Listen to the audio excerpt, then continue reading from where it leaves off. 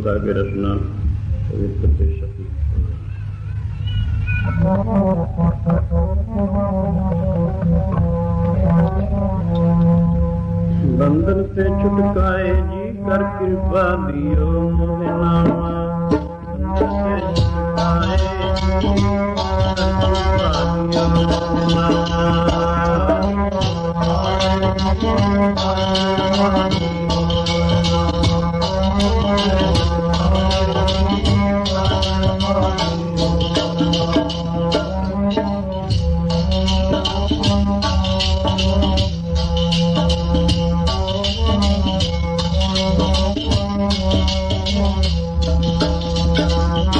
ਕਰ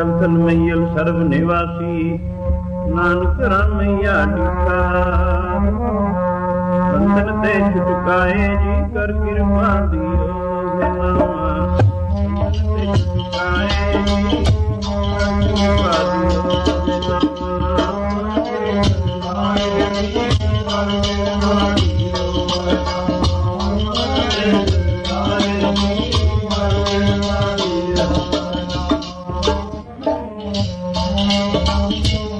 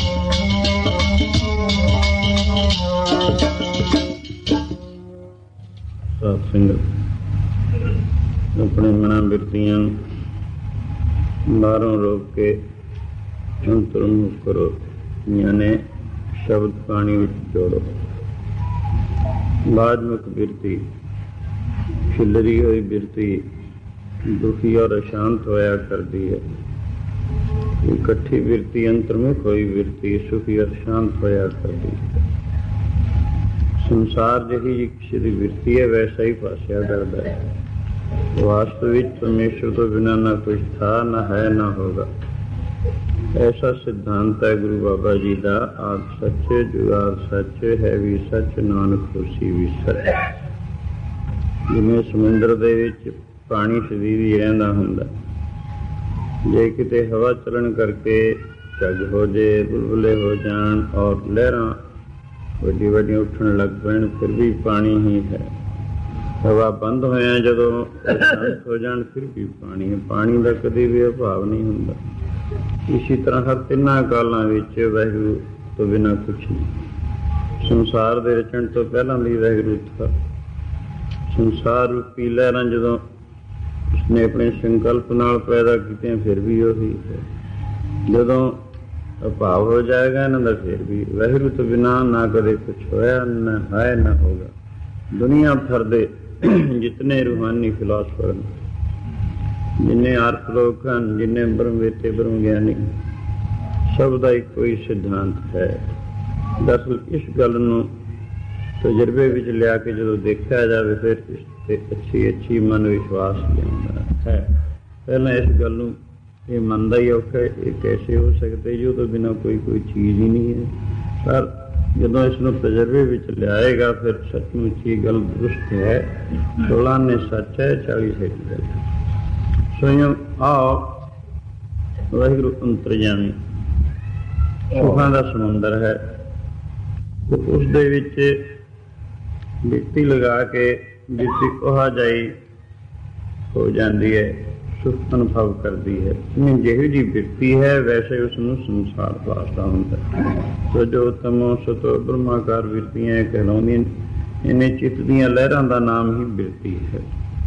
ਰਜੋ ਬਿਰਤੀਆਂ ਨੂੰ ਕਹਿੰਦੇ ਗਲਤੀ ਕਰਕੇ ਭੁੱਲ ਦੇ ਵਿੱਚ ਦੁਨੀਆ ਦੁਨੀਆ ਦੇ ਪਦਾਰਥਾਂ ਨੂੰ ਸਤ ਔਰ ਸੁਖ ਸਰੂਪ ਮੰਨ ਕੇ ਉਹਨਾਂ ਵਿੱਚ ਇਹਦੀ ਪ੍ਰਵਿਰਤੀ ਰਹੇ। ਉਸ ਨੂੰ ਰਜੋ ਗੁਣ ਬਿਰਤੀ ਕਹਿੰਦੇ।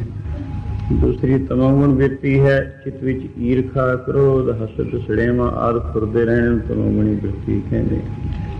ਸਤੋਗੁਣੀ ਬਿਰਤੀ ਉਹ ਹੈ ਜਦੋਂ ਮਨ ਟਿਕ ਜਾਏ, ਚਿਤ ਵਿੱਚ ਵੈਰਾਗ ਹੋਵੇ, ਸੰਸਾਰ ਕੁਛ ਨਹੀਂ, ਨਾਸ਼ਵੰਤ ਹੈ ਔਰ ਮਨ ਇਸ ਵੈਰਾਗ ਦੇ ਆਸਰੇ ਭਜਨ ਕਰਦਾ, ਉਸ ਦੇ ਵਿੱਚ ਟਿਕ ਜਾਏ। ਮਨ ਨੂੰ ਸ਼ਾਂਤੀ ਆਉਂਦੀ ਹੈ, ਇਕਾਗਰਤਾ ਆਉਂਦੀ ਹੈ ਉਸ ਨੂੰ ਸਤੋਗੁਣੀ ਬਿਰਤੀ ਕਹਿੰਦੇ ਨੇ। ਉਸ ਤੋਂ ਬਾਅਦ ਇੱਕ ਹੋਰ ਬਿਰਤੀ ਅੱਗੇ ਬ੍ਰਹਮਾਕਾਰ ਬਿਰਤੀ ਹੈ। ਸੋ ਵਾਹਿਗੁਰੂ ਅੰਤਰਜਾਮੀ ਦੇ ਵਿੱਚ ਇਹ ਉੱਠਦੀਆਂ ਰਹਿੰਦੀਆਂ ਹਨ, ਜਿਵੇਂ ਸਮੁੰਦਰ ਵਿੱਚ ਲਹਿਰਾਂ ਉੱਠਦੀਆਂ ਰਹਿੰਦੀਆਂ। ਤਾਂ ਤੇ ਜਿਗਿਆਸੂ ਨੇ ਜਿਹੜਾ ਸਤਸੰਗੀ ਪੁਰਸ਼ ਹੈ, ਉਸਨੇ ਰਜਤਮੋ ਬਿਰਤੀਆਂ ਨੂੰ ਦੂਰ ਕਰਕੇ ਆਪਣੀ ਬਿਰਤੀ ਨੂੰ ਸਤੋਗੁਣੀ ਬਣਾਉਣਾ ਮਨ ਨੂੰ ਟਿਕਾਉਣਾ ਹੈ ਔਰ ਵੈਰਾਗ ਅਵਸਥਾ ਵਿੱਚ ਲਿਆਉਣਾ ਹੈ, ਵਿਚਾਰ ਕਰਕੇ ਦੇਖਿਆ ਜਾਵੇ, ਸੰਸਾਰ ਦਾ ਕੋਈ ਪਦਾਰਥ ਅਸਥਿਰ ਨਹੀਂ ਹੈ। ਨਾ ਕੋਈ ਚੀਜ਼ ਸੰਸਾਰ ਤੇ ਰਹੀ, ਨਾ ਰਹੇਗੀ। ਰਹੇਗਾ ਕੇਵਲ ਵਾਹਿਗੁਰੂ। ਇਸ ਵਾਸਤੇ ਜਦੋਂ ਇਹੋ ਜਿਹਾ ਚਿੱਤ ਵਿੱਚ ਵਿਸ਼ਵਾਸ ਬੈਠ ਜਾਂਦਾ ਹੈ, ਜੋ ਕਿ ਠੀਕ ਹੈ ਉਸ ਮੌਕੇ ਬਿਰਤੀ ਸਤੋਗੁਣੀ ਹੋਣੀ ਸ਼ੁਰੂ ਹੁੰਦੀ ਹੈ। ਅਤੇ ਆਓ ਬਿਰਤੀ ਨੂੰ ਸ਼ਬਦ ਵਿੱਚ ਟਿਕਾਓ, ਜੋ ਵਿਚਾਰਾਂ ਹੁੰਦੀਆਂ ਨੇ, ਇਹਦੇ ਵਿੱਚ ਲੀਨ ਕਰੋ। ਖੁਦ ਬਖੁਦ ਹੀ ਇਹ ਮਹਿਸੂਸ ਕਰੇਗੀ ਬਈ ਸ਼ਾਂਤੀ ਔਰ ਸੁਖ ਹੈ। ਇਹ ਦੁਨੀਆ ਕੇ ਸ਼ਾਂਤੀ, ਸੁਖ ਤਾਂ ਹੋਰ ਕਿਤੇ ਹੈ ਹੀ ਨਹੀਂ। ਹਾਂ, ਆਓ, ਹੁਣ ਸ਼ਬਦ ਵਿੱਚ ਸਾਰੇ ਹੀ ਬੋਲਦੇ ਹੈ ਸਮਾਂ ਉਹੀ ਸਫਲਾ ਹੈ, ਉਹੀ ਲੇਖੇ ਵਿੱਚ ਹੈ ਜਿਹੜਾ ਹਰੀ ਦੀ ਯਾਦ ਵਿੱਚ ਗੁਜ਼ਰਦਾ ਹੈ। ਜੋ ਵਾਹਿਗੁਰੂ ਦੀ ਯਾਦ ਵਿੱਚ ਗੁਜ਼ਰੇ, ਉਮਰ ਉਹ ਵਿੱਚ ਲੇਖੇ ਦੇ। ਜਿਹੜੀ ਯਾਦ ਸਾਈਂ ਵਿੱਚ ਗੁਜ਼ਰੇ, ਪਾਉਂਦੀ ਮੁਜਰੇ। ਨਹੀਂ ਤੇ ਸਾਨੂੰ ਹਾਸਲ ਕੀ ਹੈ ਵਿੱਚ ਸੁਨੀਲੇ ਹੁਜਰੇ ਸੰਜ ਤੇ ਫਜਰੇ। ਕੋਈ ਉਮਰ ਲੇਖੇ ਵਿੱਚ ਹੈ ਜਿਹੜੀ ਰੱਬ ਦੀ ਯਾਦ ਵਿੱਚ ਗੁਜ਼ਰੇ। ਕਿਉਂਕਿ ਸਮੇਂ ਨੂੰ ਜਿਹੜਾ ਜਿਹਾ ਅਸੀਂ ਕਰਨਾ ਚਾਹਾਂਗੇ, ਵੈਸੇ ਹੀ ਬਣ ਜਾਏਗਾ। ਇਹ ਸਮਾਂ ਨਰਕ ਬਣ ਸਕਦਾ ਹੈ। ਇਹੀ ਸਮਾਂ ਸਰਗ ਬਣ ਸਕਦਾ ਹੈ। ਇਹੀ ਸਮਾਂ ਬੈਕੁੰਠ ਬਣ ਸਕਦਾ ਹੈ। ਇਹੀ ਸਮਾਂ ਰੱਬ ਬਣ ਸਕਦਾ ਹੈ। ਜਿਸ ਪਾਸੇ ਖਰਚਿਆ ਜਾਵੇ, ਉਹ ਜਿਹੀ ਬਣ ਜਾਂਦਾ। ਇਸ ਸਮੇਂ ਨੂੰ ਪਾਪਾਂ ਬੁਰਿਆਂ ਕੰਮਾਂ ਵਿੱਚ ਗੁਜ਼ਾਰੋ, ਉਹ ਨਰਕ ਬਣ ਜਾਏ, ਉਹਦਾ ਫਲ ਨਰਕ ਹੈ, ਦੁੱਖ ਹੈ ਵਿਸ਼ੇਸ਼। ਇਸ ਸਮੇਂ ਨੂੰ ਉਹਨੂੰ ਕਰਮਾਂ ਦੇ ਵਿੱਚ ਗੁਜ਼ਾਰੋ, ਉਹ ਸਵਰਗ ਬਣ ਜਾਏਗਾ ਜਿਸਮਾਨੀ ਸਵਰਗ। ਇਸ ਸਮੇਂ ਨੂੰ ਹਰੀ ਜਸ ਦੇ ਵਿੱਚ ਗੁਜ਼ਾਰੋ, ਇਹ ਸਮਾਂ ਬੈਕੁੰਠ ਰੂਪ ਬਣ ਜਾਂਦਾ ਹੈ। ਬ੍ਰਹਮ ਵਿਚਾਰ ਕਰਦੇ ਕਰਦੇ ਇਹ ਸਮਾਂ ਬ੍ਰਹਮ ਰੂਪ ਪਰਮੇਸ਼ਰ ਰੂਪ ਬਣ ਜਾਂਦਾ ਹੈ। ਤਾਂ ਆਓ ਹੁਣ ਆਪਣੇ ਸਮੇਂ ਨੂੰ ਸਫਲਾ ਕਰੋ। ਗੁਰੂ ਨਾਨਕ ਜੀ ਇੱਕ ਦਫਾ ਸੰਸਾਰ ਦਾ ਉਧਾਰ ਕਰਦੇ ਕਰਦੇ ਕਿਸੇ ਬਾਹਰ ਇੱਕ ਛੋਟੇ ਜਿਹੇ ਚਿੜੀ ਵਿੱਚ ਬੈਠੇ ਹੋਏ ਮਰਦਾਨਾ ਕੀਰਤਨ ਕਰ ਰਿਹਾ ਹੈ। ਗੁਰੂ ਬਾਬਾ ਜੀ ਨੇਤਰ ਮੀਟ ਕੇ ਸੁਣ ਲਏ ਉਹ ਸਮਾਪਤੀ ਹੋ ਗਈ। ਗੁਰੂ ਬਾਬਾ ਜੀ ਦੀ ਸਮਾਧ ਲੱਗ ਗਈ।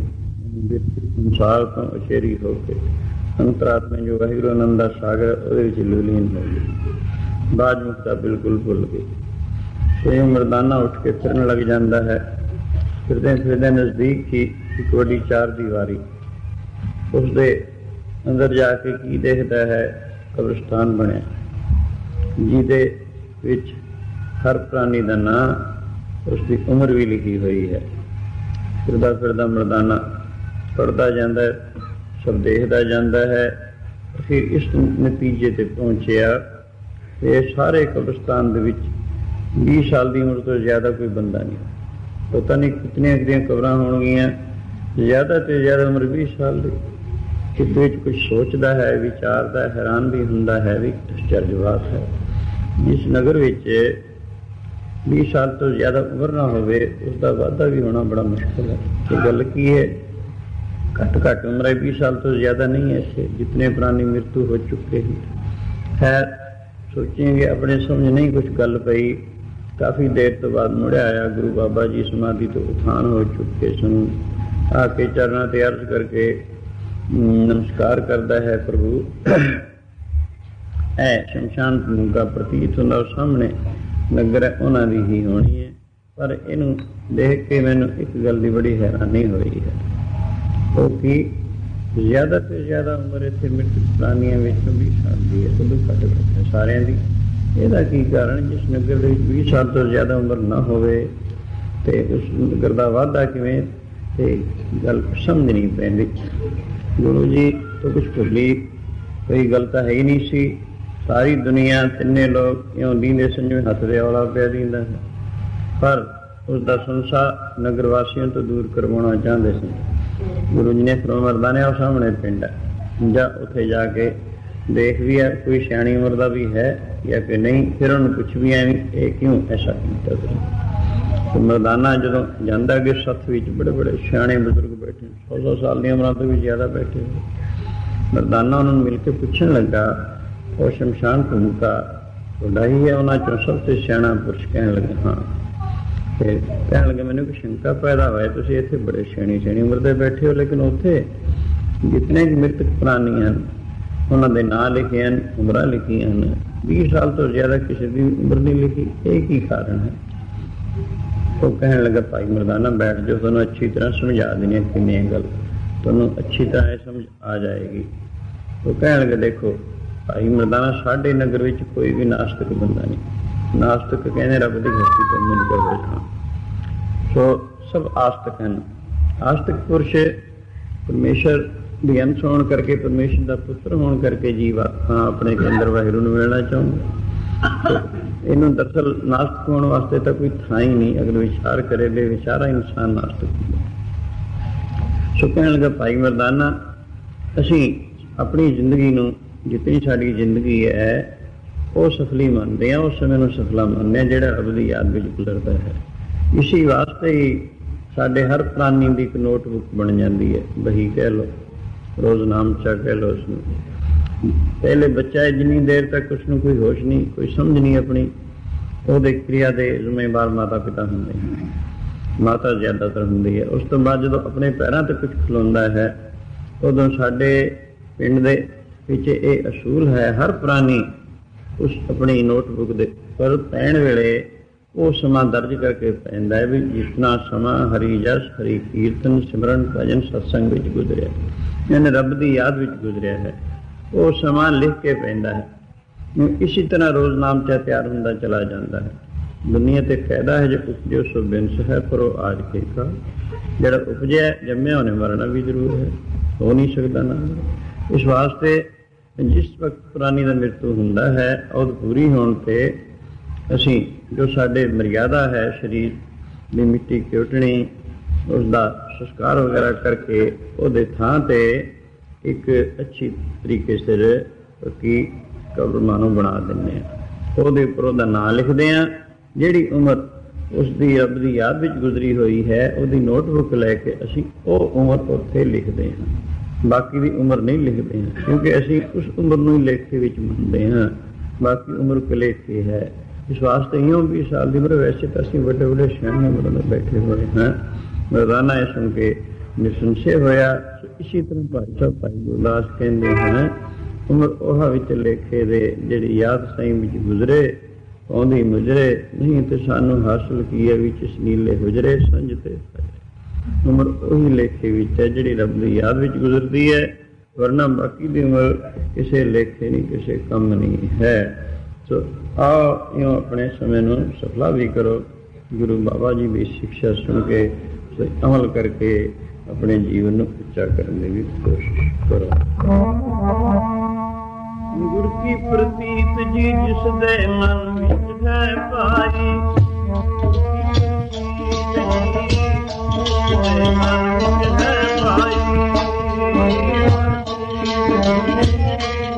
Bye.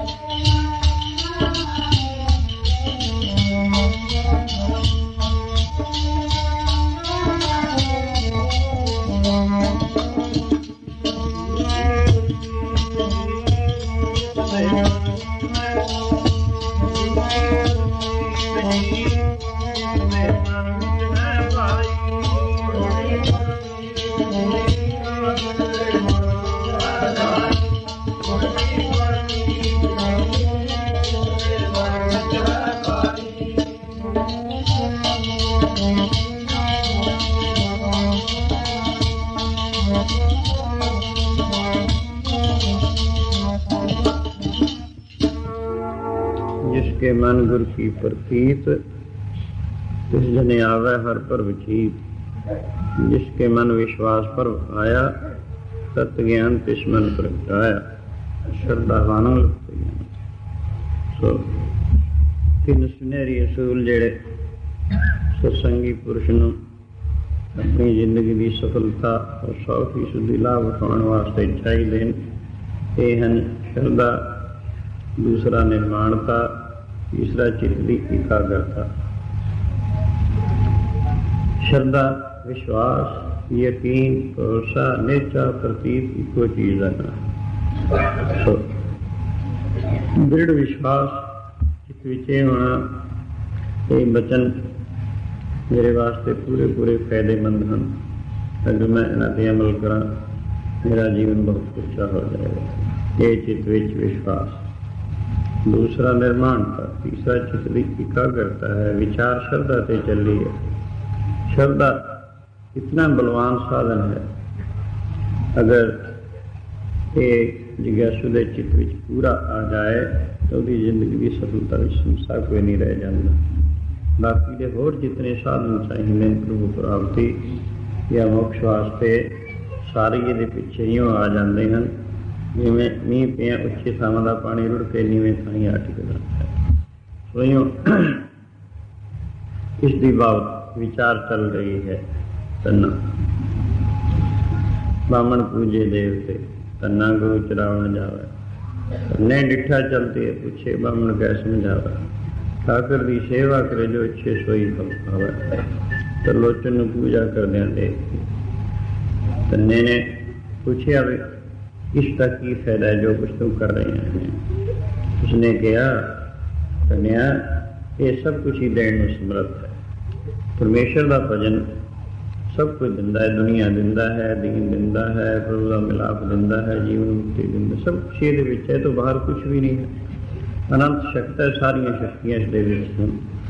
ਸੋ ਜੈਸੀ ਭਾਵਨਾ ਨਾਲ ਇਸ ਦਾ ਭਜਨ ਕਰਦਾ ਹੈ ਸੋ ਉਹ ਹਜਾ ਫਲ ਪ੍ਰਾਪਤ ਕਰ ਲੈਂਦਾ ਹੈ।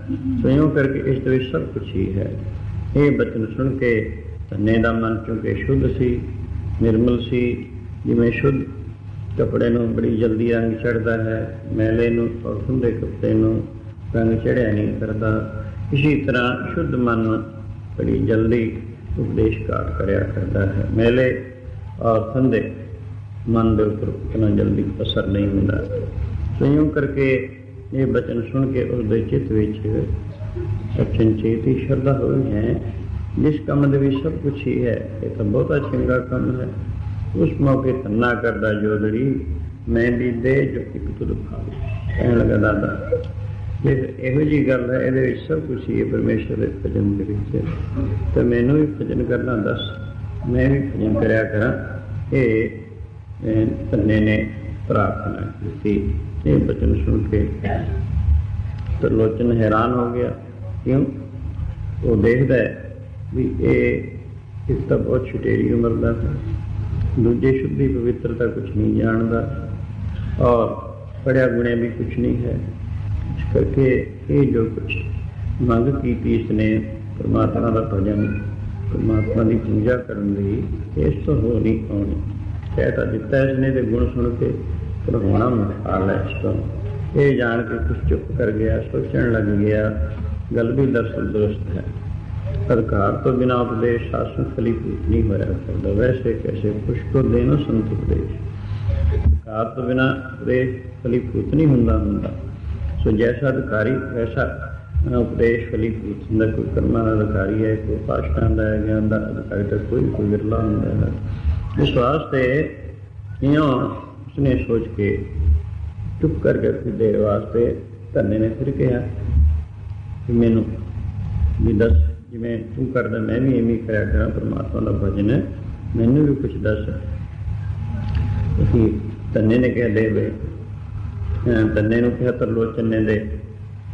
ਤੇ ਤੋਂ ਇਹ ਪਰਮਾਤਮਾ ਦਾ ਭਜਨ ਠਾਕਰ ਪੂਜਾ ਹੋ ਨਹੀਂ ਹੋਣੀ, ਕਿਉਂਕਿ ਇਹਦੇ ਵਾਸਤੇ ਤਾਂ ਸਵਖਤੇ ਉੱਠਣਾ ਪੈਂਦਾ ਹੈ। ਸੋਚ ਦਾਤਨ ਕੁਰਲਾ ਕਰਕੇ ਇਸ਼ਨਾਨ ਕਰਨਾ ਪੈਂਦਾ ਹੈ। ਫਿਰ ਬੈਠ ਕੇ ਭਜਨ ਪਾਠ ਕਰਨਾ ਪੈਂਦਾ ਹੈ। ਉਸ ਤੋਂ ਬਾਅਦ ਜੋ ਕੁਛ ਛਕਣਾ ਆਪਣੇ ਭਗਵਾਨ ਨੂੰ ਭੋਗ ਲਗਾ ਕੇ ਫਿਰ ਛਕੀਂਦਾ ਹੈ।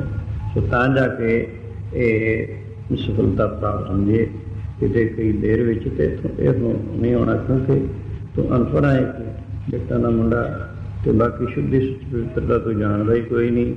ਜਿੰਨੀ ਦੇਰ ਤੱਕ ਸਵੇਰੇ ਉੱਠ ਕੇ ਦੋ ਬਿਨਾਂ ਰੋਟੀਆਂ ਲੱਸੀ ਨਾਲ ਨਹੀਂ ਖਾ ਲੈਂਦੇ, ਨੇ ਚੈਨ ਨਹੀਂ ਆਉਂਦੀ। ਬਿਨਾਂ ਹੱਥੋਂ ਧੋਤੇ ਹੋਈ ਇਸ ਕਰਕੇ ਤੇ ਇਥੋਂ ਇਹ ਕੈਸੇ ਹੋ ਸਕੇਗਾ ਇਹ ਜਦੋਂ ਬਚਨ ਕਹੇ, ਤਰਲੋਚਨ ਨੇ ਅੰਨਾ ਕਹਿੰਦਾ ਜਿਵੇਂ ਕਹੋਗੇ ਮੈਂ ਉਵੇਂ ਕਰੂੰ ਜੋ ਕੁਝ ਕਹੋਗੇ, ਮੈਂ ਉਸੇ ਤਰ੍ਹਾਂ ਕਰਾਂਗਾ। ਮੈਨੂੰ ਦੱਸੋ ਤਾਂ ਸੀ ਖੈਰ, ਉਸ ਦਾ ਬਹੁਤ ਸਾਰਾ ਇਹੋ ਜਿਹਾ ਹੱਥ ਦੇਖ ਕੇ ਔਰ ਪ੍ਰੇਮ ਦੇ ਕੇ ਪੱਤਰਿਕ ਲਪੇਟ ਕੇ ਦੇ ਤਨੇ ਨੂੰ ਵਿਆਹ ਛੁਡਾ।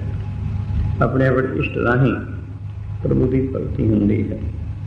ਸਾਡਾ ਇਸ਼ਟ ਗੁਰੂ ਗ੍ਰੰਥ ਸਾਹਿਬ ਸੋ, ਇਸ ਦੇ ਇਸੀ ਭਾਵਨਾ ਨਾਲ ਅਸੀਂ ਮੱਥੇ ਟੇਕਦੇ ਹਾਂ, ਇਸੀ ਭਾਵਨਾ ਤੋਂ ਵੀ ਚਮਰ ਕਰਦੇ ਹਾਂ, ਅਰਦਾਸਾਂ ਕਰਦੇ ਹਾਂ ਇਸ ਤੋਂ ਇਲਾਵਾ ਭੋਗ ਲਗਾਉਂਦੇ ਹਾਂ। ਸੋ, ਇਹ ਭਾਵਨਾ ਨਾਲ ਹੀ ਅਸੀਂ ਕਰਦੇ ਹਾਂ। ਸੋ, ਉਹਨਾਂ ਦਾ ਵੈਸ਼ਨ ਮਤ ਦੇ ਵਿੱਚ ਵਿਸ਼ਨੂੰ ਨੂੰ ਪਰਮਾਤਮਾ ਮੰਨ ਕੇ ਕਾਲੇ ਰੰਗ ਦੇ ਪੁੱਤਰ ਦਾ ਸ਼ਾਲਗ੍ਰਾਮ ਉਸ ਨੂੰ ਵਿਸ਼ਨੂੰ ਮੰਨਦੇ ਹੁੰਦੇ ਸਨ। ਆਪਣੇ ਆਪਣੇ ਅਲੱਗ ਅਲੱਗ ਦਾ ਮਤ ਮਤ ਮੰਤਰਾਂ ਦੇ ਇਹ ਤਰੀਕੇ ਹੁੰਦੇ ਹਨ।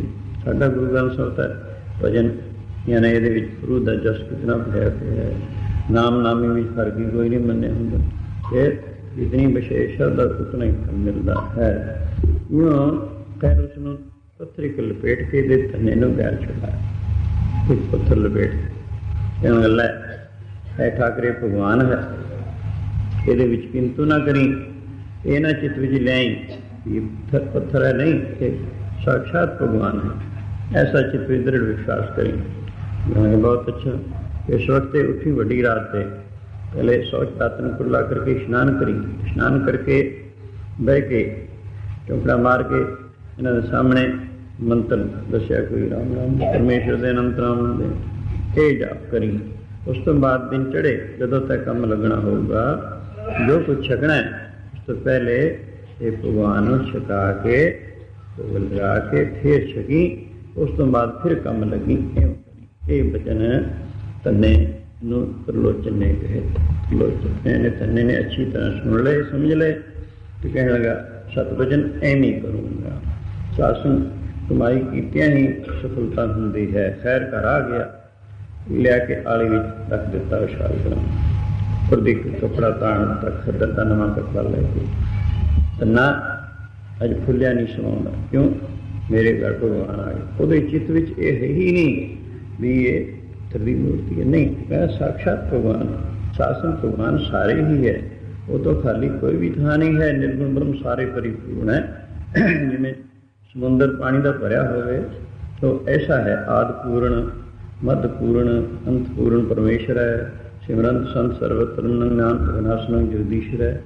ਉਹ ਸਾਰੇ ਪਰਿਪੂਰਨ ਹੈ। ਸਾਰਾ ਸੰਸਾਰ, ਬਲਕਿ ਕਰੋਨਾ ਬ੍ਰਹਮੰਡ, ਉਹਦੇ ਵਿੱਚ ਇਉਂ ਹਨ, ਜਿਵੇਂ ਸਮੁੰਦਰ ਦੇ ਵਿੱਚ ਲਹਿਰਾਂ ਬੁਲਬੁਲੇ ਹੁੰਦੇ ਸੋ। ਇਹ ਜੀ ਦਿਸ਼ਾ ਉਹ ਹੈ ਕਿੱਥੇ ਨਹੀਂ, ਸਾਰੇ ਪਰਿਪੂਰਨ ਹੈ। ਪਰ ਉਸ ਨੂੰ ਦੇਖਣ ਵਾਸਤੇ ਅਸੀਂ ਅੱਖ ਖੋਲਣੀ ਹੈ। ਉਹ ਅੱਖ ਸਾਡੀ ਬੰਦ ਹੈ, ਜਿਹੜੀ ਉਸ ਨੂੰ ਦੇਖਣ ਵਾਲੀ ਹੈ। ਛੇ ਅੱਖੜੀਆਂ ਬਿਆਨ ਜਿਨ੍ਹਾਂ ਦੇ ਸੰਦੋ ਮਾਪਰੀ ਨਿਰਗੁਣ ਦੀ ਬਾਬਤ ਜੇ ਅਣਜਾਣ ਜਿਗਿਆਸੂ ਨੂੰ ਦੱਸਿਆ ਜਾਵੇ, ਉਹ ਸਮਝ ਹੀ ਨਹੀਂ ਸਕਦਾ, ਕਿਉਂਕਿ ਉਹਦੀ ਇੰਨੀ ਸੂਖਸ਼ਮ ਬੁੱਧ ਨਹੀਂ ਹੈ।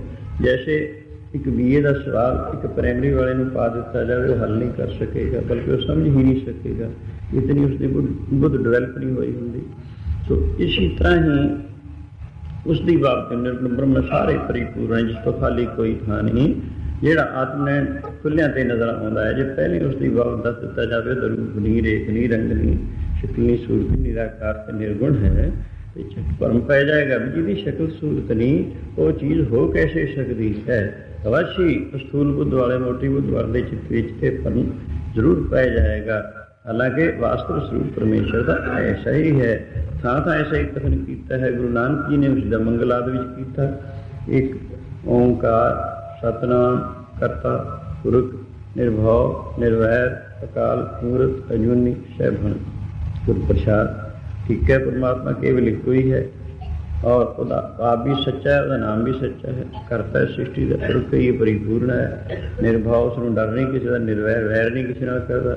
ਕਾਲ ਸੇ ਰਹਿਤ ਹੈ, ਇਹ ਜੀ ਮੂਰਤੀ ਹੈ ਸੈਭਨ ਸੁਤੇ ਪ੍ਰਕਾਸ਼ ਹੈ। ਉਹ ਕਿਸੇ ਦਾ ਬਣਾਇਆ ਨਹੀਂ ਹੈ, ਇਹ ਕਿਸੇ ਦਾ ਥਾਪਿਆ ਨਹੀਂ, ਬਣਾਇਆ ਹੁੰਦਾ, ਮਕਾਨ ਥਾਪਿਆ ਹੁੰਦਾ ਕੜਾ ਜਿਉਂ ਕੁਮਾਰ ਘੜੇ ਨੂੰ ਥਾਪਦਾ, ਮਕਾਨ ਬਣਾਉਂਦੇ ਕਾਰੀਗਰ ਐਵੇਂ ਨਹੀਂ ਬਣਾਇਆ ਆਪਣੇ ਆਪ ਹੀ ਸਮ ਪ੍ਰਕਾਸ਼ ਸੋ ਐਸਾ ਪਰਮੇਸ਼ਰ ਜਾਣਿਆ ਕਿਵੇਂ ਜਾਂਦਾ? ਗੁਰੂ ਪ੍ਰਸਾਦ ਗੁਰੂ ਦੀ ਕਿਰਪਾ ਕਰਕੇ ਜਾਣਿਆ ਜਾਂਦਾ ਐਵੇਂ ਨਹੀਂ ਜਾਣਿਆ ਜਾਂਦਾ। ਐਸਾ ਹੀ ਕੀਤਾ ਤੇ ਸਾਹਿਬ ਗੁਰੂ ਅਰਜਨ ਦੇਵ ਮਹਾਰਾਜ ਵੀ ਐਸੇ ਹੀ ਫਰਮਾਉਂਦੇ ਹਨ, ਰੂਪ ਨਾ ਰੇਖ ਨਾ ਰੰਗ ਕਿਛ ਤਰ੍ਹਾਂ ਗੁਣ ਤੇ ਪ੍ਰਭ ਭਿੰਨ ਜਿਸੇ ਬੁਝਾਏ ਨਾਨਕ ਸੋਵੇ ਸੋ ਰੂਪ ਨਹੀਂ ਰੇਖ ਨਹੀਂ ਰੰਗ ਨਹੀਂ ਸ਼ਕਲ ਨਹੀਂ ਸੋ ਤਿੰਨਾਂ ਗੁਣਾਂ ਦਾ ਬਰੇ ਨਿਰਾਕਾਰ ਔਰ ਅਚਲ ਹੈ। ਇਹਨੂੰ ਸੁਣ ਕੇ ਹੈਰਾਨ ਹੋ ਜਿਹਦੀ ਸ਼ਕਲ ਸੂਰਤ ਨਹੀਂ, ਹੋ ਕੈਸੇ ਸਕਦੀ ਉਹ ਚੀਜ਼? ਨਾ ਜਾਣੋ ਤਾਂ ਅਵਸ਼ੀ ਪਰਮ ਪੈ ਜਾਏਗਾ। ਸਾਹਿਬ ਦਸਮ ਪਾਤਸ਼ਾਹ ਨੇ ਚਾਪ ਸਾਹਿਬ ਦੇ ਆਪ ਵਿੱਚ ਮੰਗਲ ਕਰਦਿਆਂ ਦੀ ਤੁਸੀਂ ਨਿਰਗੁਣ ਦਾ ਮੰਗਲ ਹੀ ਕੀਤਾ ਹੈ। ਚੱਕਰ ਚਿਹਨ ਬਰਨ ਰੂਪ ਤੇਰਾ ਲਖਿਆ ਨਾ ਜਾਵੇ। ਤੇਰਾ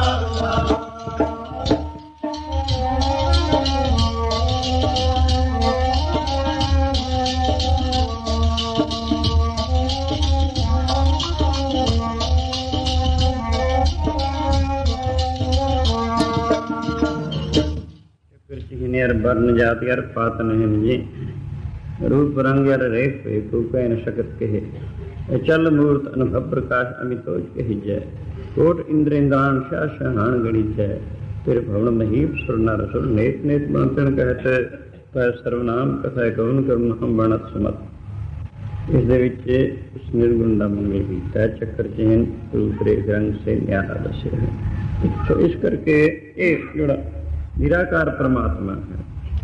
ਉਹਦੀ ਪੂਜਾ ਜਿਵੇਂ ਸਾਕਾਰ ਦੀ ਕੀਤੀ ਹੈ, ਕਿਵੇਂ ਹੋਵੇ ਜਿਹਦੀ ਸ਼ਕਲ ਸੂਰਤ ਨਹੀਂ। ਦਸ, ਅਧਿਕਾਰ ਦੇ ਮੁਤਾਬਕ ਉਪਦੇਸ਼ ਹੁੰਦਾ ਹੈ ਸਤ ਸੰਗਤ ਇੱਕ ਦਫਾ ਵਸ਼ਿਸ਼ਟ ਜੀ ਨੇ ਸ਼ਿਵਾ ਤੋਂ ਪੁੱਛਿਆ ਸੀ ਕਿ ਪਰਮੇਸ਼ਰ ਦਾ ਰੂਪ ਰੇਖ ਰੰਗ ਕੁਛ ਨਹੀਂ ਉਸ ਦੀ ਪੂਜਾ ਕਿਵੇਂ ਕੀਤੀ ਜਾਵੇ? ਜਿਹਦੀ ਸ਼ਕਲ ਸੂਰਤ ਨਹੀਂ। ਕਹਿਣਗੇ ਜਿਹੇ ਜੇ ਕਿਸੇ ਦੇਵ ਦਾ ਆਕਾਰ ਹੈ, ਵੈਸੀ ਉਸ ਦੀ ਪੂਜਾ ਹੁੰਦੀ ਹੈ। ਇਹ ਨਿਰਗੁਣ ਨਿਰਾਕਾਰ ਹੈ। ਸੂਖਸ਼ਮ ਫੁੱਲਾਂ ਨਾਲ ਦੀ ਸੇਵਾ, ਇਹਦੀ ਪੂਜਾ ਹੁੰਦੀ ਹੈ। ਉਹ ਦੱਸੋ ਕਿਹੋ ਜਿਹੇ ਫੁੱਲਨ ਵਿਸ਼ਿਸ਼ਟ ਜੀ ਨੇ ਪੁੱਛਿਆ। ਸ਼ਿਵ ਜੀ ਕਹਿਣਗੇ, ਸ਼ਾਮ ਸੰਭੋ ਤਿੰਨ ਫੁੱਲਨ ਸਮਦ੍ਰਿਸ਼ਟੀ ਸਮ ਕੀ ਚਿੱਤ ਦੀ ਇਕਾਗਰਤਾ, ਬੋਧ ਕੀ ਬ੍ਰਹਮ ਗਿਆਨ ਉਹਦੀ ਪੂਜਾ ਇਹਨਾਂ ਤਿੰਨ ਫੁੱਲਾਂ ਨਾਲ ਹੁੰਦੀ ਹੈ। ਪਰ ਜਿਤਨੀ ਦੇਰ ਇਸ ਅਵਸਥਾ ਨੂੰ ਨਹੀਂ ਪ੍ਰਾਪਤ ਹੋਇਆ ਉਤਨੀ ਦੇਰ ਤੱਕ ਇਸ ਦੇ ਵਾਸਤੇ ਸਾਕਾਰ ਦੀ ਪੂਜਾ ਜਾਇਜ਼ ਹੈ। ਉਹ ਕਰਨੀ ਯੋਗ ਹੈ ਕਿਉਂਕਿ ਇਸ ਦੀ ਸੁਣ ਪਹਿਲੇ ਪਹਿਲੇ ਪੈਂਦੀ ਨਹੀਂ। ਜਿਗਿਆਸੂ ਵਾਸਤੇ ਇਹ ਤਾਂ ਗਿਆਨ ਦਰਜੇ ਵਿੱਚ ਆ ਗਿਆ, ਲੇਕਿਨ ਉਪਾਸਨਾ ਦਰਜੇ ਵਿੱਚ ਸਾਕਾਰ ਇਸੇ ਵਾਸਤੇ ਬਜ਼ੁਰਗਾਂ ਨੇ, ਪਹਿਲੇ ਆਚਾਰਜਾਂ ਨੇ, ਗੁਰੂਆਂ ਨੇ ਰਿਸ਼ੀਆਂ ਮੁਨੀਆਂ ਨੇ ਸਾਕਾਰ ਦੀ ਪੂਜਾ ਨਿਯਤ ਰੱਖੀ ਹੈ ਕਿਉਂਕਿ ਜਿਗਿਆਸੂ ਨੂੰ ਇਸ ਨਿਰਗੁਣ ਦੀ ਬਾਬਤ ਇਤਨੀ ਸਮਝ ਨਹੀਂ ਹੁੰਦੀ, ਇਤਨੀ ਬੁੱਧ ਉਹਦੀ ਬਰੀਕ ਨਹੀਂ ਹੁੰਦੀ ਹੋਇਆ ਕਰਦੀ ਤਾਂ ਕਿ ਇਸ ਨੂੰ ਸਮਝ ਸਕੇ। ਇਸ ਵਾਸਤੇ ਪਹਿਲੇ ਸਾਕਾਰ ਦੀ ਪਰਮੇਸ਼ਰ ਦੇ ਵੈਸੇ ਤਿੰਨ ਸਰੂਪ ਰੱਖੇ, ਨਿਰਗੁਣ, ਸਰਗੁਣ ਵਿਰਾਟ ਵਿਰਾਟ ਸਾਰਾ ਸੰਸਾਰੀ ਜਗਤ ਭਰ ਰੂਪ ਹੈ। ਸਰਗੁਣ ਅਵਤਾਰਾਂ ਦੇ ਜਾਂ ਉਸ ਸੰਤਾਂ ਦੇ ਸਰੀਰਾਂ ਨੂੰ ਕਿਹਾ, ਅਕਾਲ ਮੂਰਤ ਸਾਧ ਸੰਤਨ ਕੀ ਠਾਰ ਨੀਤੀ ਧਿਆਨ ਕੋ, ਸਫਲ ਮੂਰਤ ਪਰਸੋ ਸੁੰਦਰ ਕੀ ਇਹ ਧਿਆਨ ਨਾਲ ਕਰਨਾ। ਇਹ ਗੁਰੂ ਦੀ ਮੂਰਤ ਅਵਤਾਰਾਂ ਨੂੰ ਉਹਨੂੰ ਸਾਕਾਰ ਸਰਗੁਣ ਕਿਹਾ ਜਾਂਦਾ ਹੈ, ਸ਼ਕਲ ਵਾਲਾ। ਨਿਰਗੁਣ ਇਹਨਾਂ ਦੋਨਾਂ ਦਾ ਅਧਿਸ਼ਟਾਨ, ਦੋਨਾਂ ਦਾ ਆਸਰਾ, ਸਰਗੁਣ ਦਾ ਔਰ ਵੈਰਾਟ ਦਾ ਇੱਕ ਨਿਰਗੁਣ ਹੈ ਦਰਅਸਲ। ਉਹ ਤੋਂ ਬਿਨਾ ਇਹ ਦੋਵੇਂ ਵੀ ਰਹਿ ਸਕਦੇ ਅਸਲ ਸਾਰ ਵਸਤੂ ਉਹ ਹੈ, ਜਦੋਂ ਅਸਲੀਅਤ ਸੋਝੀ ਪਏਗੀ, ਫਿਰ ਅਸਲੀ ਉਸ ਨੂੰ ਪਤਾ ਲੱਗੇ ਵਾਸਤਵ ਪਰਮੇਸ਼ਰ ਦਾ ਸਰੂਪ ਤਾਂ ਇਹ ਹੈ। ਸੋ ਆਇਓ ਪਹਿਲੇ ਬਜ਼ੁਰਗਾਂ ਨੇ, ਰਿਸ਼ੀਆਂ, ਮੁਨੀਆਂ, ਗੁਰੂਆਂ ਨੇ ਸਾਕਾਰ ਦੀ ਪੂਜਾ, ਸਰਗੁਣ। ਕਿਉਂਕਿ ਨਿਰਗੁਣ ਸਮਝਣ ਦਾ ਯੋਗ ਨਹੀਂ ਹੁੰਦਾ ਜੀ। ਉਹ ਜੀ ਬੁੱਧ ਨਹੀਂ ਹੁੰਦੀ ਸੋ ਆਪਣੇ ਆਪਣੇ ਇਸ਼ਟ ਨੂੰ ਪਰਮੇਸ਼ਰ ਮੰਨ ਕੇ ਉਸ ਰਾਹੀਂ ਪੂਜਾ ਭਜਨ ਪਾਠ ਕਰਦੇ ਕਰਦੇ ਫਿਰ ਨਿਰਗੁਣ ਦੀ ਪ੍ਰਾਪਤੀ ਹੋ ਜਾਂਦੀ ਹੈ। ਇਉਂ ਦੱਸਿਆ ਹੋਇਆ ਹੈ। ਸਾਡੇ ਵੀ ਦੱਸਿਆ ਵੀ ਇਸ ਪਰਮੇਸ਼ਰ ਦਾ ਕੀ ਸਰੂਪ ਹੈ? ਗੁਰੂ ਅਰਜਨ ਦੇਵ ਮਹਾਰਾਜ ਜੀ ਤੋਂ ਪੁੱਛਿਆ ਸੀ, ਸਿੱਖਾਂ ਨਗਰੀ ਨਾਲ ਪਰਮੇਸ਼ਰ ਨਿਰਾਕਾਰ ਹੈ। ਸ਼ੁਕਰ ਸੂਰਤ ਤੇ ਨਿਆਰਾ ਜਦੋਂ ਨਿਰਗੁਣ ਦੀ ਬਾਤ ਵਿਚਾਰ ਚੱਲਦੀ ਹੈ, ਫਿਰ ਉਸ ਦੀ ਪੂਜਾ, ਉਸ ਦਾ ਧਿਆਨ ਜਿਸ ਕਿਵੇਂ ਤਰਿਆ ਜਾਵੇ, ਤੇ ਆਪ ਕਿਰਪਾ ਕਰਕੇ ਦੱਸੋ ਸੋ ਜਿਗਿਆਸੂ ਦਾ ਭਲਾ ਕੈਸੇ ਹੋਵੇ ਤੇ ਕਿਸ ਸਰੂਪ ਦਾ ਧਿਆਨ ਕਰੇ ਜੋ ਕਿ ਪਰਮੇਸ਼ਰ ਦਾ ਸਰੂਪ ਹੀ ਉਹਦਾ ਧਿਆਨ ਹੀ ਮੰਨਿਆ ਜਾਵੇ। ਤੇ ਗੁਰੂ ਜੀ ਨੇ ਗੌਂਡ ਰਾਗ ਦੇ ਵਿੱਚ ਦੱਸਿਆ ਸੀ, ਗੁਰੂ ਕੀ ਮੂਰਤ ਮਨ ਮੇ ਧਿਆਨ। ਗੁਰੂ ਤੇ ਪਰਮੇਸ਼ਰ ਵਿੱਚ ਦਰਅਸਲ ਫ਼ਰਕ ਕੋਈ ਨਹੀਂ ਮੰਨਿਆ। ਫ਼ਰਕ ਇੰਨਾ ਗੁਰੂ ਸਾਕਾਰ ਰੂਪ ਹੈ, ਪਰਮੇਸ਼ਰ ਨਿਰਾਕਾਰ ਨਿਰਾਕਾਰ ਨੇ ਹੀ ਸਾਕਾਰ ਰੂਪ ਧਾਰਨ ਕੀਤਾ। ਇੱਕ ਆਦਮੀ ਕੋ ਕੱਪੜੇ ਪਹਿਨ ਲੈ ਤਾਂ ਵੀ ਉਹੀ ਹੈ, ਨਾ ਪਹਿਨੇ ਤਾਂ ਵੀ ਉਹੀ ਹੈ, ਆਦਮੀ ਤਾਂ ਉਹੀ ਹੈ। ਨਿਰਗੁਣ, ਸ਼ਕਲ ਸੂਰਤ ਤੋਂ ਬਿਨਾਂ ਰੂਪ ਰੇਖ ਰੰਗ ਸੇ ਨਿਆਰ ਸਰਗੁਣ, ਸ਼ਕਲ ਧਾਰਨ ਕੀਤੀ ਹੋਵੇ। ਸੋ ਇਸ ਕਰਕੇ ਗੁਰੂ ਜੀ ਨੇ ਕਿਹਾ, ਸਾਡੇ ਗੁਰੂ ਨਾਨਕ ਦੇਵ ਮਹਾਰਾਜ ਦੇ ਘਰ ਵਿੱਚ ਗੁਰੂ ਨੂੰ ਪਰਮੇਸ਼ਰ ਮੰਨਣਾ ਹੈ। ਗੁਰੂ ਤੇ ਪਰਮੇਸ਼ਰ ਵਿੱਚ ਫ਼ਰਕ ਨਹੀਂ ਮੰਨਣਾ। ਤਾਂ ਜਾ ਕੇ ਜਗਿਆਸੂ ਦਾ ਨਿਸਤਾਰਾ ਹੁੰਦੇ ਉਹ ਫਰਮਾਉਂਦੇ ਨੇ ਗੁਰੂ ਗੋਬਿੰਦ ਗੋਬਿੰਦ ਗੁਰੂ ਹੈ, ਨਾਨਕ ਭੇਦ ਨ ਪਾਈ। ਗੁਰੂ ਗੋਬਿੰਦ ਗੋਬਿੰਦ ਨਾਨਕ ਭੇਦ ਨ ਪਾਈ।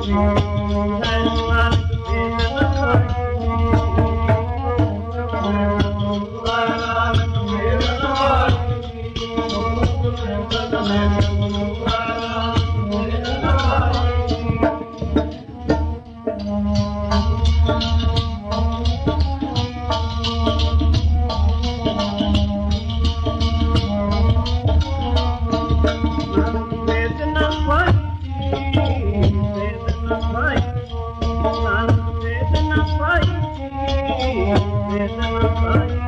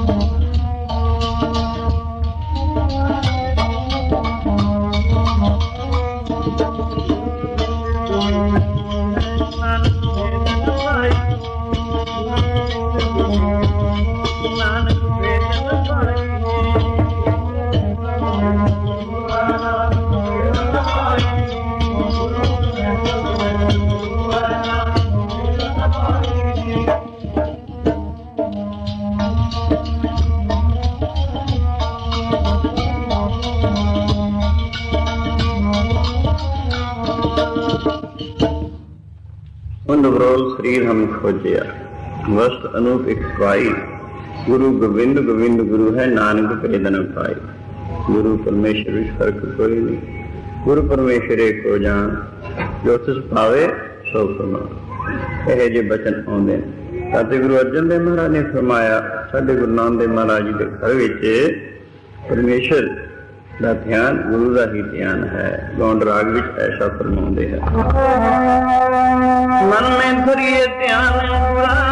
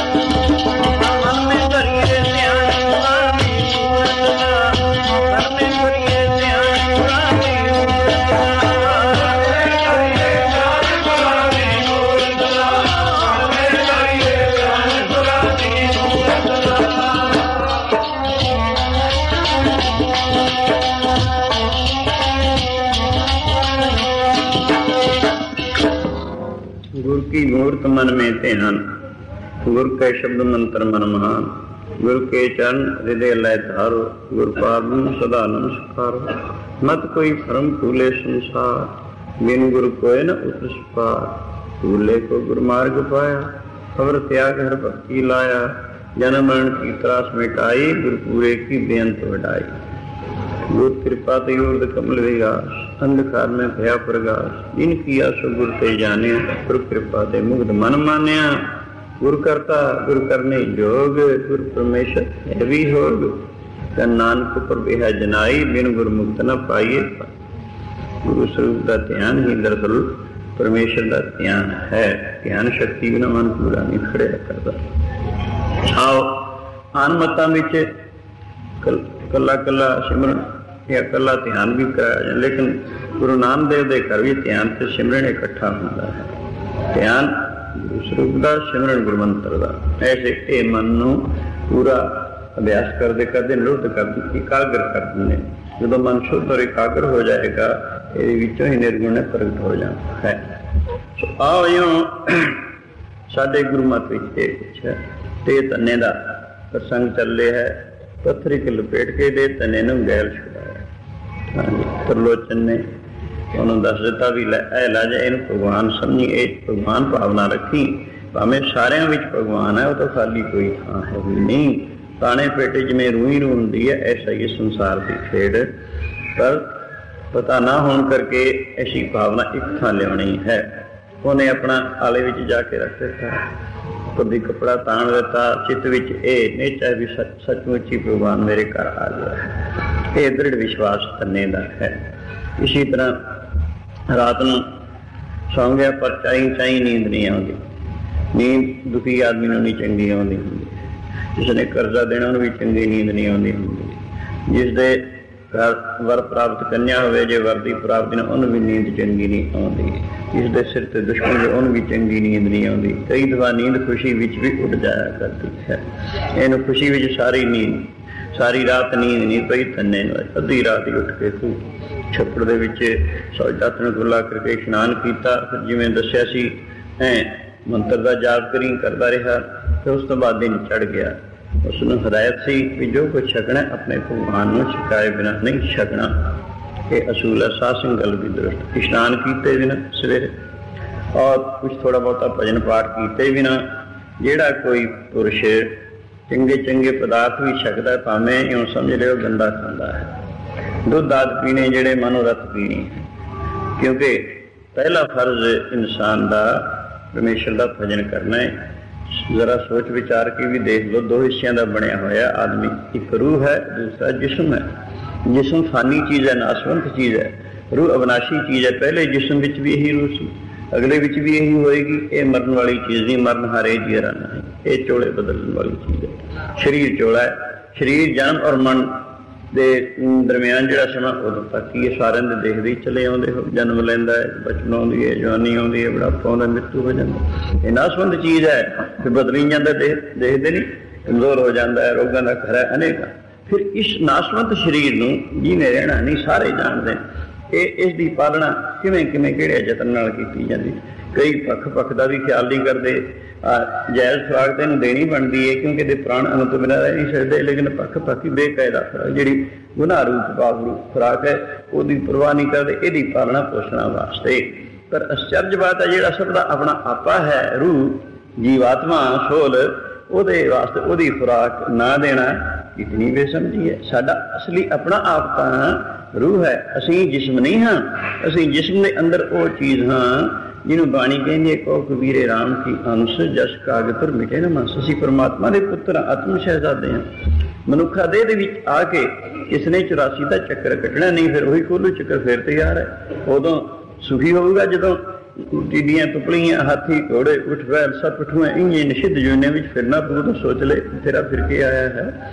ਅਜੇ ਤਾਂ ਅਹ, ਪਰਦਾ ਪਿਆ ਹੈ ਜੇ ਸਾਹਮਣੇ ਅੱਜ ਕਿਤੇ ਉਹ ਸੀਨ ਹੈਰਾਨ ਹੋ ਜਾਵੇ ਤੇਰੇ। ਤੋਂ ਮਾਤਾ ਦੇ ਉਧਰ ਵਿੱਚ ਸਾਰਾ ਸਾਹਮਣੇ ਹੁੰਦਾ ਹੈ। ਫਿਰ ਭੁੱਲ ਜਾਂਦਾ। ਕਰ ਇਸ ਕਰਕੇ ਪਹਿਲਾ ਰੂਹ, ਉਹਦੀ ਖੁਰਾਕ ਹੈ ਭਜਨ, ਸਤਸੰਗ। ਤੇ ਉਹ, ਉਹਦੀ ਖੁਰਾਕ ਨਾ ਦਿੱਤੀ ਜਾਵੇ ਰੂਹਾਨੀਅਤ ਵੱਲੋਂ ਵੀ ਇਸਨੇ ਮੁਰਦਾ ਹੋਣਾ। ਜੇ ਜਿਸਮ ਦੀ ਖੁਰਾਕ ਨਾ ਮਿਲੇ, ਇਹ ਘੱਟ ਹੋ ਜੇ ਕਿਸੇ ਕਾਰਨ ਤੇ, ਇਹ ਹੌਲੀ ਹੌਲੀ ਦੁਬਲਾ ਕਮਜ਼ੋਰ ਹੁੰਦਾ ਹੁੰਦਾ। ਕੁਝ ਦਿਨ ਦੀ ਖੁਰਾਕ ਨਾ ਮਿਲੇ, ਮਰ ਜਾਏਗਾ, ਜ਼ਰੂਰੀ ਹੈ। ਕਿਉਂਕਿ ਇਹਦੀ ਖੁਰਾਕ ਹੈ ਨਾ ਪਾਣੀ ਹੈ। ਇਸੇ ਤਰ੍ਹਾਂ ਰੂਹਾਨੀਅਤ ਰੂਹ ਦੀ ਖੁਰਾਕ ਜਿਹੜੀ ਹੈ ਭਜਨ ਬੰਦਗੀ ਹੈ।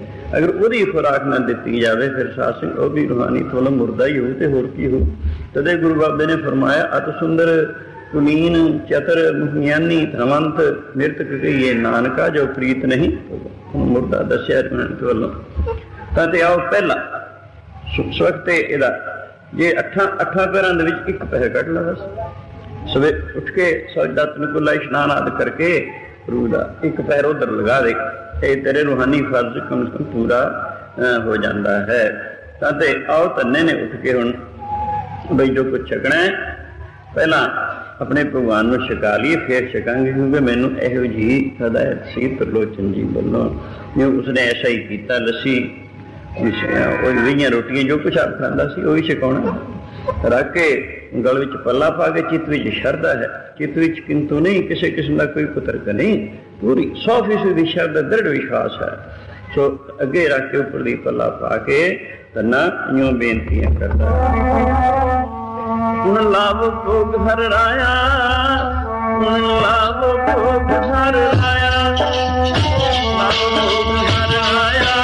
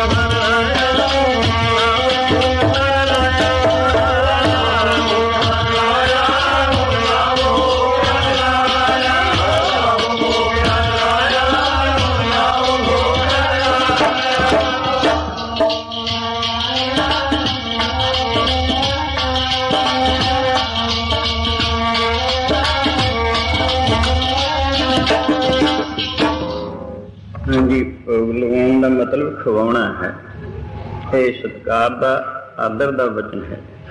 ਸੋ ਹੈ ਪ੍ਰਭੂ, ਜੋ ਕੁਛ ਹਾਜ਼ਰ ਆਪ ਛਕੋ ਤੰਨਾ ਬੜਿਆ ਗੁਣਾ ਤਾਂ ਹੈ ਹੀ ਨਹੀਂ ਸੀ।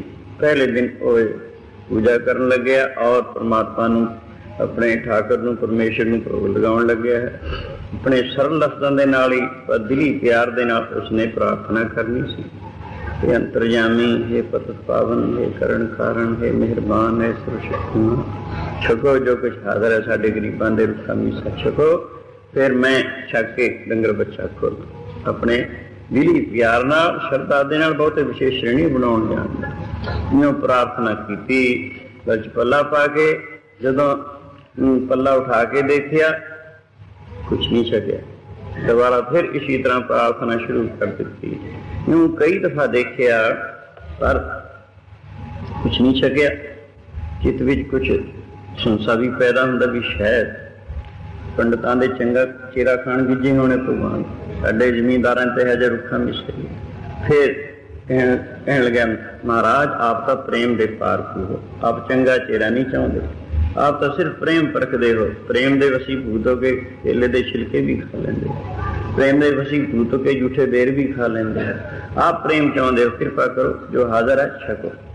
ਇਹ ਨਹੀਂ ਛਕਿਆ। ਕਾਫੀ ਸਮਾਂ ਗੁਜ਼ਰ ਗਿਆ ਪਹਿਰ ਦਿਨ ਲੰਘ ਗਿਆ। ਦੁਪਹਿਰ ਹੋ ਗਈ ਡੰਗਰ ਬੱਚਾ ਉਵੇਂ ਖੜਾ, ਉਧਰ ਵੀ ਖਿਆਲ ਚਲਿਆ ਜਾਂਦਾ। ਕਿ ਕਿਤੇ ਕਿਤੇ ਅਖੀਰ ਇਹ ਸੋਚਦਾ ਭਗਵਾਨ ਵਿੱਚ ਕੋਈ ਕਸਰ ਨਹੀਂ, ਕਸਰ ਤਾਂ ਮੇਰੇ ਵਿੱਚ ਹੈ ਭਗਵਾਨ ਤਾਂ ਸਰਬ ਸ਼ਕਤੀਮਾਨ ਹੈ। ਮੇਰੇ ਵਿੱਚ ਕੋਈ ਕਸਰ ਹੋਣੀ ਹੈ। ਕਿਸੇ ਕਾਰਨ ਤੇ ਨਹੀਂ ਛਕਦੇ ਹੋਣਗੇ, ਪਰ ਫੇਰ ਵੀ ਚਿੱਤ ਵਿੱਚ ਖਿਆਲ ਆਉਂਦਾ ਹੈ, ਇਹ ਤਾਂ ਪ੍ਰੇਮ ਦੇ ਵਸੀਭੂਤ ਹਨ। ਪ੍ਰੇਮ ਚਾਹੁੰਦੇ ਹੋਰ ਕੁਝ ਨਹੀਂ ਚਾਹੁੰਦੇ ਹਨ। ਇਤਿਆਦ ਬਾਰ-ਬਾਰ ਬੇਨਤੀਆਂ ਕਰਦਾ ਹੈ, ਪੱਲਾ ਉਠਾ ਕੇ ਦੇਖ ਲੈਂਦਾ ਅਜੇ ਤੱਕ ਕੁਝ ਨਹੀਂ ਛਕਿਆ, ਤਕਰੀਬਨ ਤੀਸਰਾ ਪੈਰ ਹੈ ਸੋ, ਅਖੀਰ ਦਿਲ ਵਿੱਚ ਖਿਆਲ ਆਇਆ ਤਾਂ ਬੜੀ ਔਖੀ ਗੱਲ ਇਹ ਕਿਉਂ ਭਗਵਾਨ ਨੇ ਇੰਨਾ ਦੇਰ ਲਗਾਉਣੀ ਹੋਈ ਰੋਜ਼ ਪ੍ਰਸ਼ਾਦ ਛਕਣ ਵਾਸਤੇ, ਤਾਂ ਤਾਂ ਮੇਰਾ ਕੰਮਕਾਰ ਸਾਰੇ ਹੀ ਖੜ ਜੂ ਕੰਮ ਮੈਂ ਕਿਵੇਂ ਕਰੂੰ? ਕੰਮਕਾਰ ਵਾਲਾ ਬੰਦਾ ਹਾਂ। ਇਹ ਤਾਂ ਮੁਸ਼ਕਲ ਜੀ ਗੱਲ ਹੈ। ਅਖੀਰ ਸਾਸਨ ਪ੍ਰੇਮ ਜਿਹੜਾ ਹੈ ਸਿਰੋਂ ਪਰੇ ਹੁੰਦਾ ਹੈ। ਪ੍ਰੇਮ ਦੀ ਜਿਹੜੀ ਅਵਸਥਾ ਹੈ, ਬਹੁਤ ਉੱਚੀ ਹੈ, ਤਦੇ ਹੀ ਗੁਰੂ ਜੀਓ ਫਰਮਾਉਂਦੇ ਆ। ਡੇਰਾ ਨਹੀਂ ਜਿੰਦੇ ਸਿਰੋਂ ਪਰੇ ਹੈ ਪ੍ਰੇਮ ਦਾ ਡੇਰਾ ਜਿੰਦੇ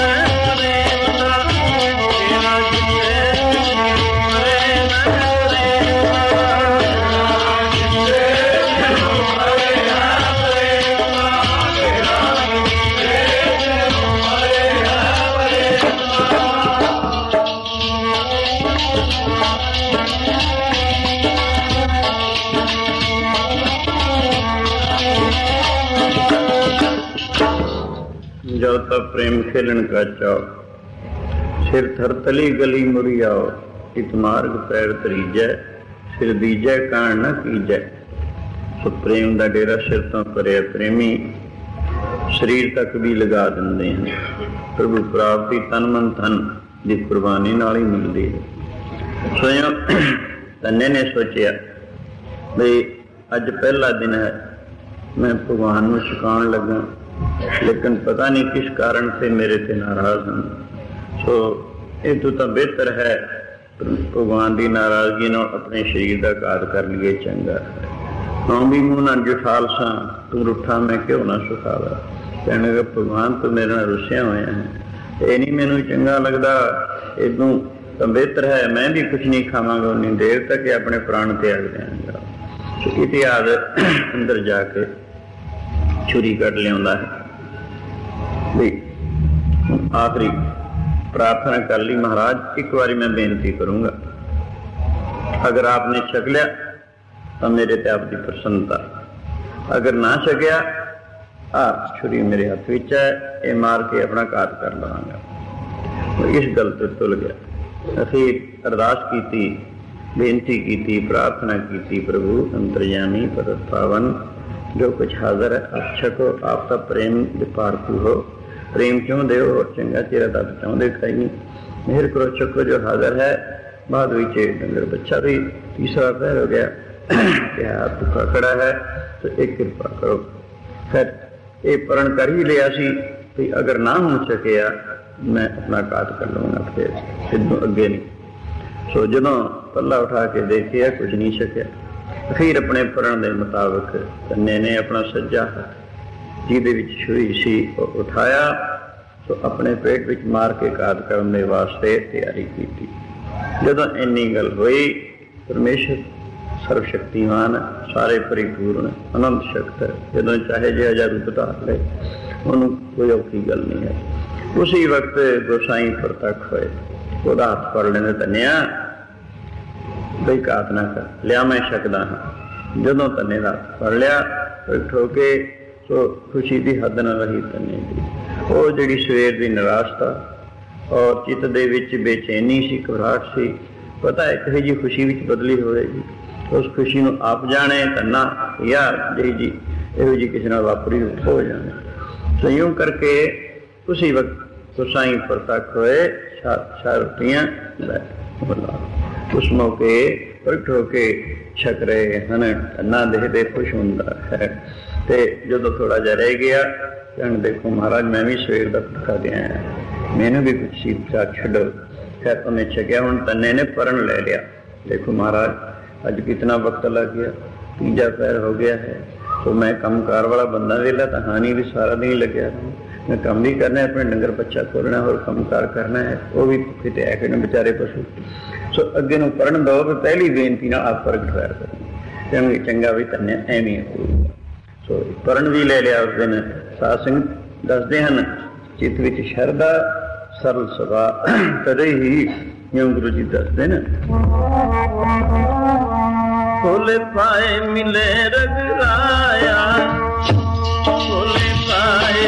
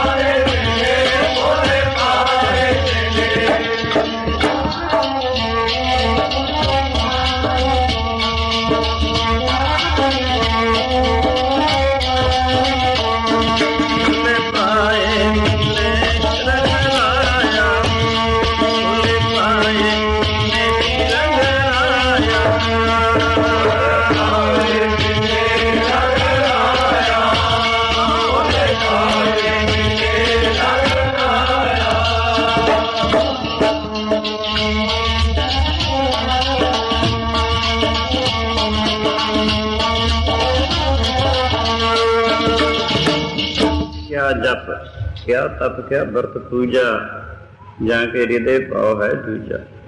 ਰੇ ਜਨ ਮਨ ਮਾਦੋ ਸਿਉ ਲਾਈਏ, ਚਤਰਾਈ ਨ ਚਤਰ ਭੁਜ ਪਾਈਏ। ਪਰ ਹਰ ਕਾਮ ਕ੍ਰੋਧ ਹੰਕਾਰ, ਪਰ ਹਰ ਲੋਭ ਅਰ ਲੋਕਾਚਾਰ। ਕਰਮ ਕਰਤ ਬਦੇ ਹਮੇ ਮਿਲ ਪਾਥ ਕੀ ਕਰੀ ਸ਼ੇਰ। ਕਹਿਤ ਕਬੀਰ ਭਗਤ ਕਰ ਪਾਇਆ ਹੋਲੇ ਪਾਏ ਮਿਲੇ ਰਗੜਾ। ਸਰਲ ਸੁਭਾਅ ਬਿਲਕੁਲ। ਜਦੋਂ ਸਾਰੇ ਮਨ ਦੇ ਛਲਵਲ ਨਿਕਲ ਜਾਣ ਚਿੱਤ ਵਿੱਚ ਕੋਈ ਚਤਰਾਈ ਨਾ ਰਹਿ ਜੇ। 100% ਪ੍ਰੇਮ ਮਨ ਵਿੱਚ ਠਾਠਾ ਮਾਰੇ। ਸੋ ਉਸ ਮੌਕੇ ਪ੍ਰਭੂ ਕੋਈ ਗੁਣ ਨਹੀਂ ਦੇਖਦਾ, ਝਟ ਹੀ ਪ੍ਰਗਟ ਹੋ ਜਾਂਦਾ ਹੈ। ਉਹਦਾ ਸੁਭਾਅ ਹੈ ਪ੍ਰੇਮ ਦੇ ਵਸੀਭੂਤ ਹੋ ਜਾਣਾ, ਉਹਦਾ ਬਿਰਧ ਹੈ ਕੁਦਰਤੀ। ਸੋ ਇਸ ਕਰਕੇ ਹੀ ਦੱਸਦੇ ਹਨ, ਗੋਸਾਈ ਪ੍ਰਤੱਖ ਹੋਏ ਚਾਰ ਚਾਰ ਰੋਟੀਆਂ ਲੈ ਮਿਲਾਵੇ ਭੋਲੇ ਪਾਏ ਗੋਬਿੰਦ ਮਿਲਾਵੇ। ਬਾਬਾ ਬਾਬਾ ਜੀ ਰੱਬ ਪਰ ਤੱਕ ਤੇਰਾ ਬਾਬਾ ਬਾਬਾ ਜੀ ਰੱਬ ਪਰ ਤੱਕ ਤੇਰਾ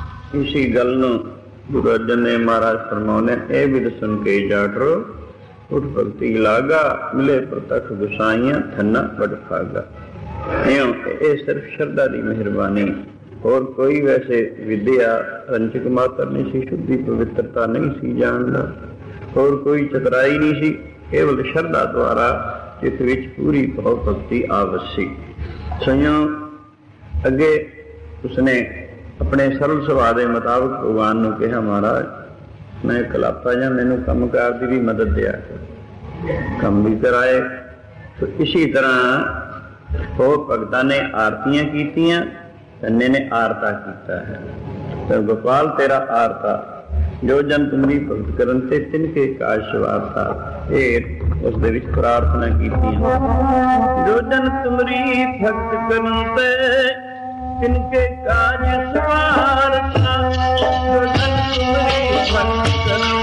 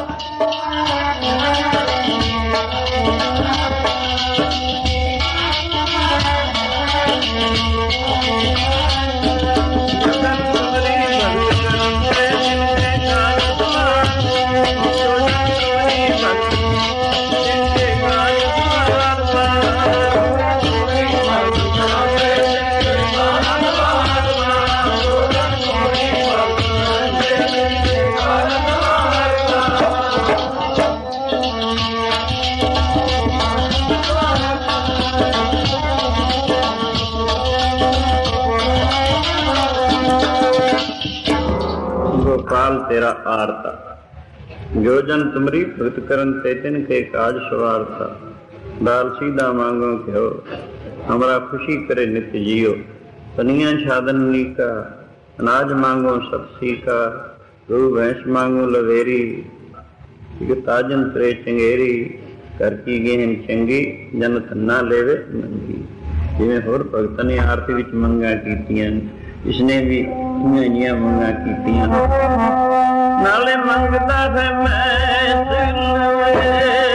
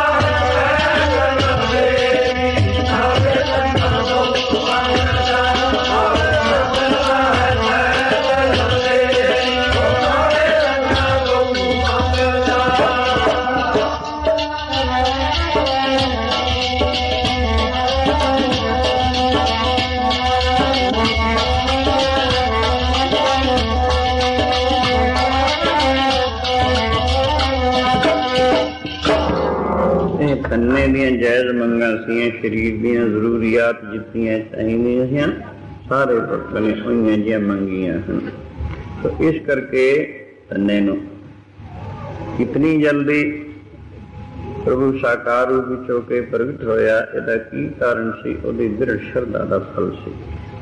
ਸ਼ਰਧਾ ਕਿਤਨਾ ਬਲਵਾਨ ਸਾਧਨ ਹੈ ਇਹ ਕਿਸੇ ਦੇ ਚਿੱਤ ਵਿੱਚ ਪੂਰੀ ਹੋ ਆਵੇ, ਉਹਦੀ ਕਾਰਜ ਸਿੱਧੀ ਵਾਸਤੇ ਦੇਰ ਨਹੀਂ ਲੱਗਿਆ ਕਰਦੀ। ਤਾਂ ਤੇ ਸ਼ਰਧਾ। ਸੋਇਓ ਸਾਡੇ ਗੁਰੂ ਘਰ ਵੀ ਸ਼ਰਧਾ, ਸਾਡਾ ਇਸ਼ਟ ਗੁਰੂ ਗ੍ਰੰਥ ਸਾਹਿਬ। ਹੈ ਸੇ ਗੁਰੂਆਂ ਦਾ ਸਰੂਪ ਸਾਖਾਤ ਭਗਵਾਨ ਮੰਨਦੇ ਨੇ। ਇੱਕ ਔਰ ਦੂਸਰੇ ਸਤਪੁਰਸ਼ਾਂ ਦੇ ਬਚਨਾਂ ਤੇ ਜਿਨ੍ਹਾਂ ਨੇ ਇਹਨੂੰ ਦੱਸਣਾ ਹੈ ਪ੍ਰੇਮ ਦੱਸਣੇ ਇਹ ਜਿਹੜੀ ਸ਼ਰਧਾ ਹੈ, ਇਹ ਇਸ ਦੇ ਜਨਮ ਦੀ ਸਫਲਤਾ ਦਾ ਕਾਰਨ ਹੈ। ਤਾਂ ਤੇ ਸ਼ਰਧਾ ਬਹੁਤ ਬਲਵਾਨ ਸਾਧਨ ਹੈ। ਜਿੱਥੇ ਸ਼ਰਧਾ ਆ ਜਾਂਦੀ ਹੈ ਉੱਥੇ ਹੋਰ ਸਾਧਨ ਸਹਿਜੇ ਹੀ ਆ ਜਾਂਦੇ ਹਨ। ਜਿਵੇਂ ਬਾਰਿਸ਼ ਪਿਆਂ ਉੱਚੀਆਂ ਥਾਵਾਂ ਦਾ ਪਾਣੀ ਰੁੜ ਕੇ ਨੀਵੇਂ ਥਾਂ ਵੀ ਕੁਦਰਤੀ ਆ ਗਿਆ ਕਰਦਾ ਹੈ। ਸ਼ਰਧਾ ਦੇ ਨਾਲ ਹੋਰ ਜਿਤਨੇ ਸਮਦਮ ਆਦ ਸਾਧਨ ਹਨ, ਉਹ ਸਹਿਜ ਇਸ ਨੂੰ ਪ੍ਰਾਪਤ ਹੋ ਜਾਇਆ ਕਰਦੇ ਹਨ। ਤਾਂ ਤੇ ਸਾਰੇ ਸਾਧਨਾਂ ਦਾ ਮੂਲ ਸ਼ਰਧਾ ਰੱਖੀ ਗਈ ਹੈ। ਇਸ ਵਾਸਤੇ ਹੀ ਗੁਰੂ ਜੀ ਫਰਮਾਉਂਦੇ ਅਨਸਾਰ ਫਰੈ, ਪਹਿਲਾ ਅਸੂਰ। ਸ਼ਰਧਾ ਹੈ। ਦੂਸਰਾ, ਨਿਰਮਾਣਤਾ। ਪਹਿਲੇ ਚਿਤਵੀ ਸ਼ਰਧਾ ਸਤਸੰਗੀ ਪੁਰਸ਼ ਦੇ ਹੋਵੇ ਵੀ ਜੋ ਕੁਛ ਮੇਰੇ ਵਾਸਤੇ ਸੁਣਾਇਆ ਜਾ ਰਿਹਾ ਗੁਰਬਾਣੀ ਦੁਆਰਾ, ਇਹ ਮੈਨੂੰ ਪੂਰਾ ਪੂਰਾ ਲਾਭ ਦੇਣ ਵਾਲੀ ਚੀਜ਼ ਹੈ, ਕਿੰਤੂ ਨਾ ਹੋਵੇ। ਔਰ ਦੂਸਰਾ, ਮਨ ਵਿੱਚ ਨਿਰਮਾਣਤਾ। ਇਹ ਸ਼ਰਧਾ ਨਾ ਆਉਣ ਦਾ ਕਾਰਨ ਚਿੱਤ ਵਿੱਚ ਕਈ ਕਿਸਮ ਦੇ ਅਭਿਮਾਨ ਹੁੰਦੇ ਹਨ, ਤਾਂ ਨਹੀਂ ਸ਼ਰਧਾ ਆਇਆ ਕਰਦੇ। ਉਹ ਹੁੰਦੇ ਨੇ ਰਾਜਮਦ ਹਕੂਮਤ ਮਦ ਜਵਾਨੀ ਮਦ, ਰੂਪ ਮਦ, ਧਨ ਮਦ, ਵਿਦਿਆ ਮਦ ਆਦ ਇਹ ਜਿਹੇ ਹੁੰਦੇ ਹਨ। ਮਦ ਨਾਮ ਹੰਕਾਰ ਦਾ ਹੈ। ਸੋ ਹਕੂਮਤ ਹੋਣੀ, ਫਿਰ ਵੀ ਚਿੱਤ ਵਿੱਚ ਇਹ ਮਦ ਜਿਹੜਾ ਟਿੱਬਾ ਬਣ ਜਾਂਦਾ ਹੈ। ਤੇ ਧਨ ਦਾ ਵੀ, ਤੇ ਇਹ ਆ ਇਹ ਪੰਜੇ ਛੇ ਗੱਲਾਂ ਜਿਹੜੀਆਂ ਦਸੀਆਂ ਹਨ, ਇਹਨਾਂ ਵਿੱਚੋਂ ਕੋਈ ਵੀ ਹੋਵੇ ਚਿੱਤ ਵਿੱਚ, ਉਹ ਮਨ ਵਿੱਚ ਸ਼ਰਧਾ ਆਉਣ ਨਹੀਂ ਦਿੰਦੀ ਹੁੰਦੀ। ਮੈਨੀ ਪਿਆਂ ਤੇ ਟਿੱਬੇ ਜਿਹੜੇ ਹਨ, ਖਾਲੀ ਰਹਿੰਦੇ ਹੁੰਦੇ ਹਨ, ਨੀਵੇਂ ਤਾਂ ਲਵਲਵ ਭਰੇ ਹੁੰਦੇ ਹਨ। ਇਸੇ ਤਰ੍ਹਾਂ ਨਿਰਮਾਣ ਹਿਰਦੇ ਜਿਹੜੇ ਹਨ, ਉਹ ਸ਼ਰਧਾ ਦੇ ਨਾਲ ਔਰ ਇਕਾਗਰਤਾ ਦੇ ਨਾਲ ਲਵਲਵ ਭਰ ਜਾਂਦੇ ਹਨ। ਜਿਹੜੇ ਇਹਨਾਂ ਟਿੱਬਿਆਂ ਜਿਨ੍ਹਾਂ ਹਿਰਦਿਆਂ ਵਿੱਚ ਟਿੱਬੇ ਹਨ, ਯਾਨੀ ਇਹਨਾਂ ਕਿਸੇ ਵਸਤੂ ਦਾ ਵਿਮਾਨ ਹੈ, ਉਥੇ ਸ਼ਰਧਾ ਔਰ ਇਕਾਗਰਤਾ ਠਹਿਰਿਆ ਨਹੀਂ ਕਰਦੇ, ਕਿਉਂਕਿ ਇਹਦੇ ਚਿੱਤ ਵਿੱਚੋਂ ਬੈਠੇ ਹੋਏ ਇਸ ਕਰਕੇ ਦੂਸਰਾ ਸਾਧਨ ਇਹ ਦੱਸੇ, ਤੀਸਰਾ ਚਿੱਤ ਦੀ ਇਕਾਗਰਤਾ ਦੱਸੀ ਹੋਈ ਹੈ। ਸੋ ਆ ਇਹ ਤਿੰਨ ਸਾਧਨ ਸਤਸੰਗੀ ਪੁਰਸ਼ ਵਾਸਤੇ ਤਾਰਨੇ ਲਾਜ਼ਮੀ ਹਨ ਤਾਂ ਪੂਰਾ ਪੂਰਾ ਲਾਭ ਉਠਾਇਆ ਕਰਦਾ ਹੈ।